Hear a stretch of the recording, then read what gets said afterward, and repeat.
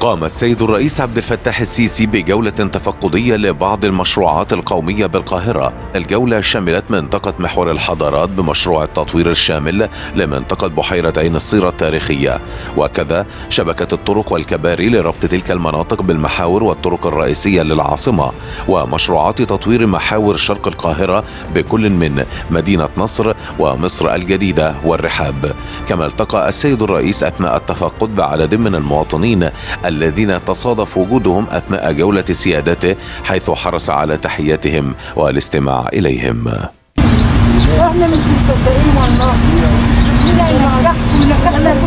أنا سعيد ان أنا بشوفكم يا رب يبارك لك. والله العظيم أنا سعيد ان أنا دايما ويحبب فيك الخير يا رب دايما ان شاء الله انت وحبايبك كلهم يا رب يبارك لك. صريح والله. مش عايز حاجة؟ لا يا